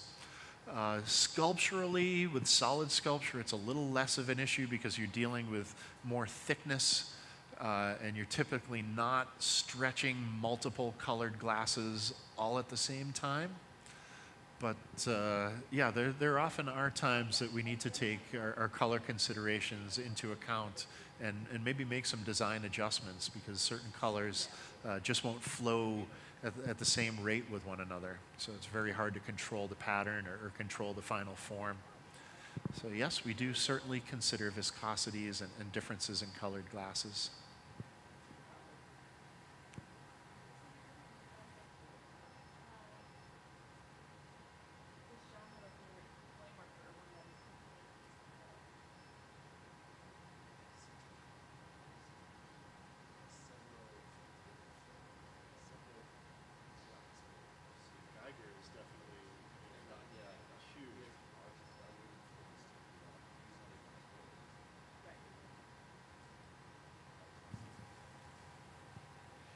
So there was a, a, question from the web wondering about John's influences as an artist. And uh, I, I, know just from looking at a lot of his work that he is heavily influenced by Giger, the, the painter sculptor, who uh, uh, most Americans are going to know his work from the Alien movies, and he, he that was his design of the alien, and you'll, you'll see that as a recurring theme in some of John's work. And uh, I know his father has been an influence in his glassworking. His, his father, Gunter Knie, uh, also a very famous glassworker, uh, and some, some other glass blowers who have been an influence in his work. Mm-hmm. Yeah, and, and John, he's heavily influenced by uh, many different forms of art, different media, and uh, also heavily influenced by mythology. So, some of you folks just walked in here. You're probably wondering why I'm sort of talking to nobody here. Uh, we, have, we are sort of in the midst of a demonstration. We have a, a visiting artist with us, and we're waiting for one piece of glass to cool a little bit so he can handle it in his bare hand and continue finishing this uh, pair of devils that are being sculpted over here. So, uh, John Zinner is our, our guest artist. He's visiting us from Germany. And he specializes in this type of figurative sculptural work on the torch. So he's got a, a, a flame working torch on the, the bench there. He'll get started in a, another couple of minutes here. And typically in this space, we do furnace style glass blowing. So you see us using these, these big ovens, big furnaces, making bowls, vases, pitchers, goblets, things to that effect. Uh, but today we have a special guest artist, and we are focusing our attention on John Zinner and uh, his sculptural flameworking. So we'll, we'll get cranking in uh, just another minute with that.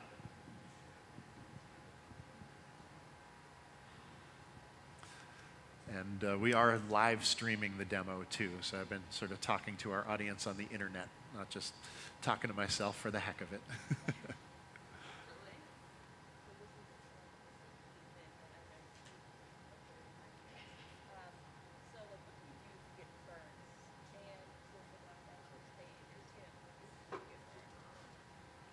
All right, a question from the web about burns when blowing glass. Uh, so, does molten glass stick to you? I think was part of the question. Actually, molten glass does not stick to you the same way that metals do. Uh, really hot metal, your skin will stick to it and it's extra unpleasant. Uh, glass, fortunately, will not stick to skin that easily, so we don't, don't have to worry quite so much about that. But uh, certainly there is plenty of risk of burns in flame working. Uh, I know when I first get burnt, uh, if I happen to zap myself with the flame or a piece of hot glass, I try to get it under cold water as soon as I can, as immediately. Uh, however many seconds you wait before getting it under cold water can make a big difference to the, the, the final blister and the, the final injury. And if you're a production glass worker, you don't have time to be put out of work by, by a blister. So those seconds make a huge difference. So that's, uh, that's my first suggestion. Beyond that, we'll leave it up to the medical community.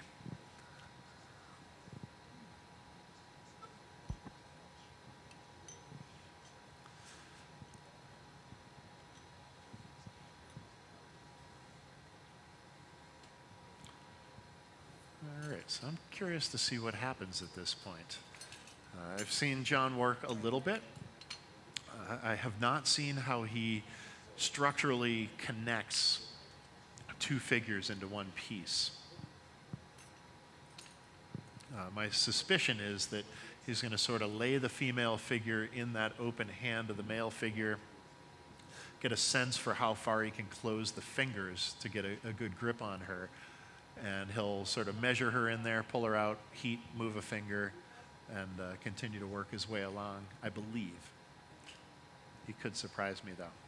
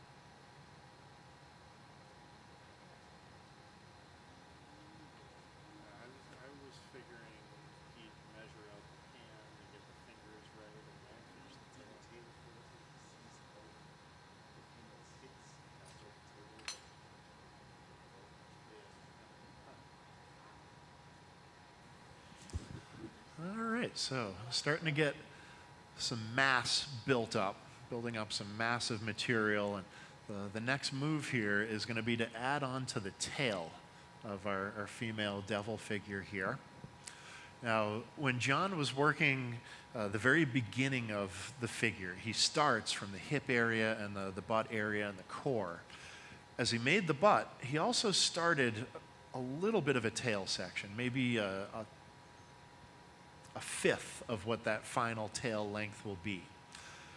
That allows him to heat just the tip of the beginnings of the tail. It, it's safe to heat that narrow spot a couple inches away from the core of the body of the figure. If he tries to heat right into the core of the figure and add the whole tail now, with the, the figure being cold, he's going to crack the core of the figure. So he's set up an area further from the core that he can safely heat into And now he's got to attach that ball just onto the very tip of the tail and get it to stretch out uniformly. So it's a, a pretty, pretty tricky maneuver, and he's got to work in this order of process. Uh, otherwise, the, the piece just won't survive. Uh, it will crack.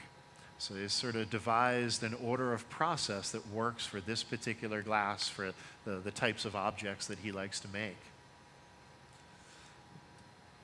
So he's also sort of figured out how large a, a ball of material he needs to stretch out the length of tail that he's after.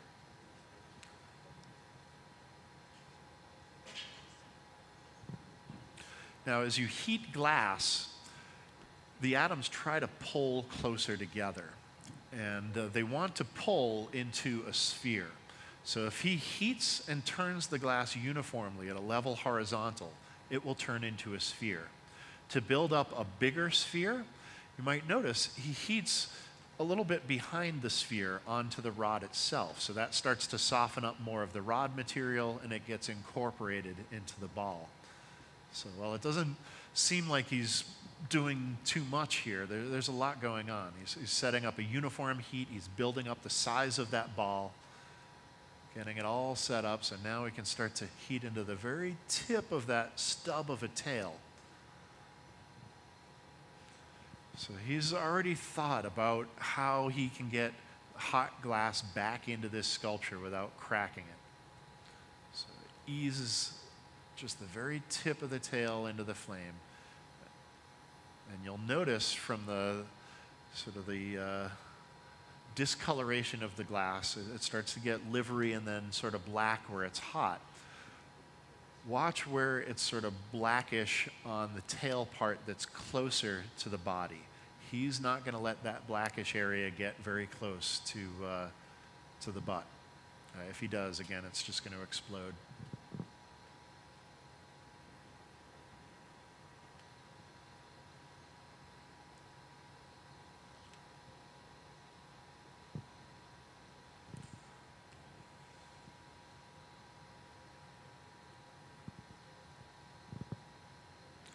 It takes very precise heating and movement of the glass. He, he's got a, a stub of a tail that is rigid, uh, just as rigid as these windows here. Just attached to the tip of that rigid section, he's got this big, thick mass of really molten, really soft glass. He's trying to get that big, thick mass to stretch out to the same diameter as that that really rigid stump of tail. Very difficult to do, to, to actually come out with a finished tail where you don't see evidence of how he made it. So it takes a, a really a lot of precision of temperature control and also really feeling out how the glass is moving, how it's stretching, where it's stretching from.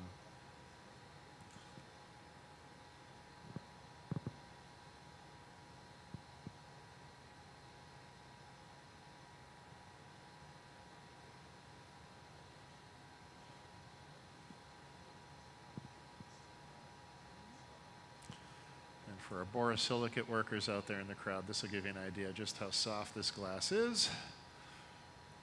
Hang out of the flame for a little bit, let it start to firm up. You still have plenty of uh, flexibility to get that big arcing curve.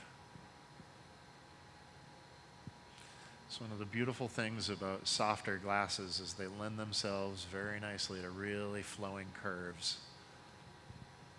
Stiffer glasses make that a lot tougher.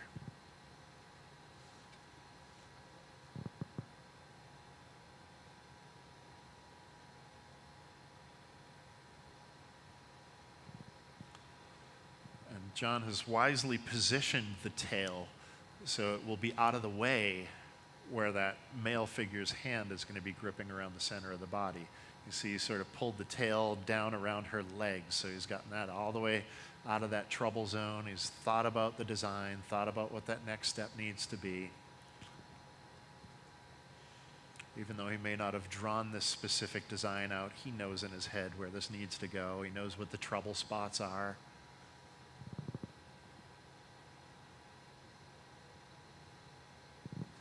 He adds a, a lot of detail to the tip of the tail as well. It's that sort of flowing flame look to it.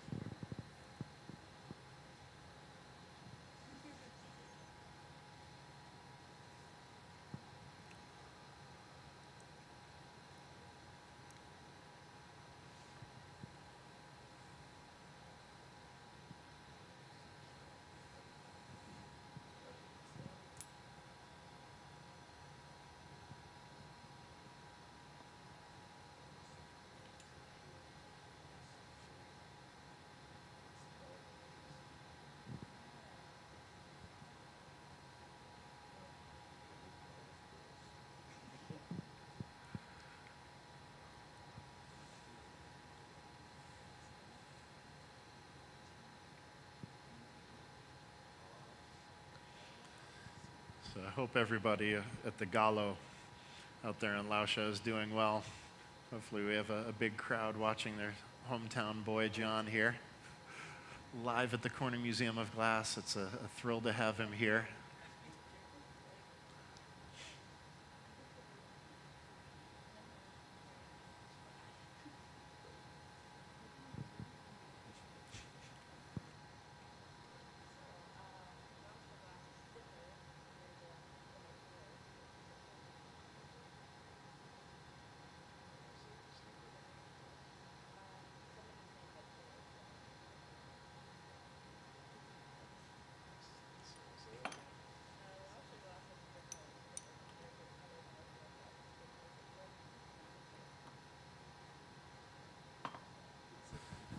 So we had a, a question about heat retention in Lauscha glass. Uh, somebody claiming that Lauscha glasses tend to be stiffer than other soda limes that are similar. I'm not entirely sure that's the case, but I don't work a ton of soda lime glasses myself. Uh, but wondering if Lauscha glass holds the heat better than some other soda lime glasses. A tough one to answer. They're, they're pretty similar. Um, my experience with Lauscha versus Effetre or Moretti glass, they're very similar. Uh, they, they hold heat very similarly. I- don't think uh, a person with a, a ton of experience on one glass is going to see too much of a difference if they had to work the other.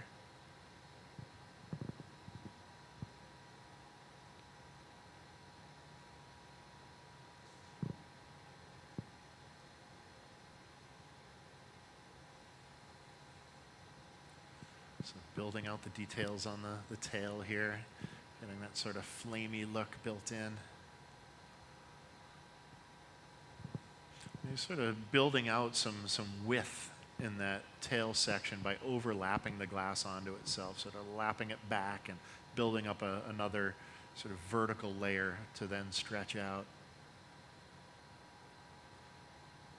Probably a, a lot of folks who are used to working borosilicate would build up a shape like that by building a ball, then squeezing the glass a little bit flatter, and then maybe stretching it out into shape. But uh, it is a, a little more common, I think, with soda lime glass to, to build up a form the way John is by sort of lapping it over itself.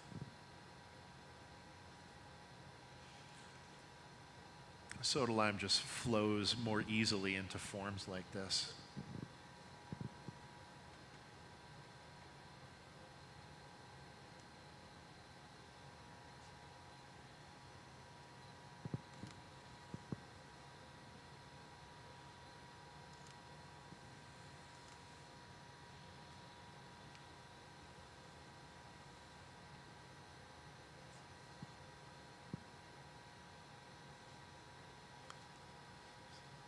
My favorite things about flame working is how meditative it is. You guys sort of feel some of that probably.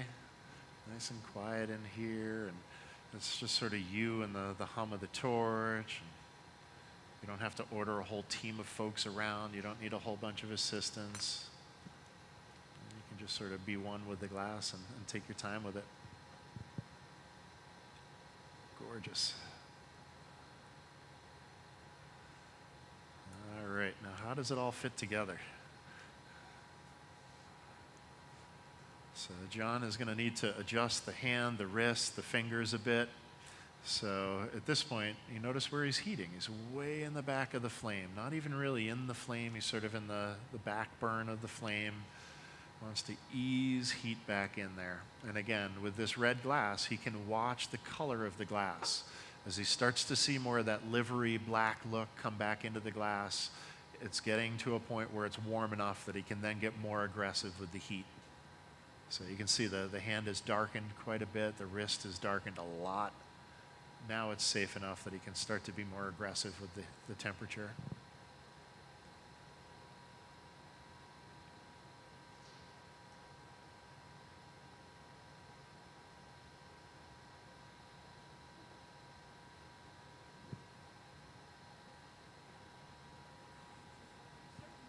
air temperature that it would have to be in here for this to work? Too hot, too cold? Another question from the web. Uh, if we need the air temperature to be in a certain range to be able to get away with work of this style, um, unless the air temperature were to change a couple hundred degrees, I don't think it's going to be an issue. And if the air temperature changes a couple hundred degrees, we've got much bigger issues. So, yeah, that shouldn't be much of an effect. Now, breezes could be an issue. If there were a big breeze that were to blow through John's workspace, uh, it would blow the flame around to a point where it could hit a cold section of the sculpture and cause that to explode. Or if enough of a breeze blows across an area that's sort of in between temperatures, it's not really molten, it's certainly not down to room temperature, that could run us into some issues. But as far as ambient air temperature, it really would have to be a, a difference of a, a few hundred degrees. So I don't think we run that risk, thankfully.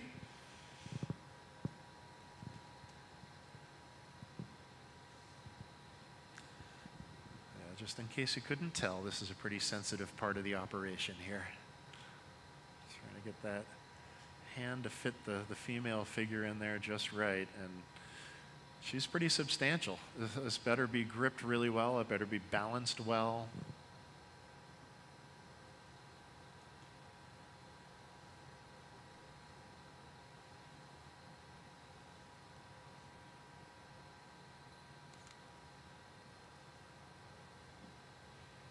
Now, we don't want to actually put the cold female figure onto the hot hand. Otherwise, again, we'll run into a, a temperature issue and cause things to crack. But uh, I believe we're just about at that point. So uh, once this cools down, we will uh, put the female figure into the, the male hand there. But uh, at this point, how about a nice round of applause for our visiting artist, John Zinner? Fantastic. Thank you so much, John. Beautiful work.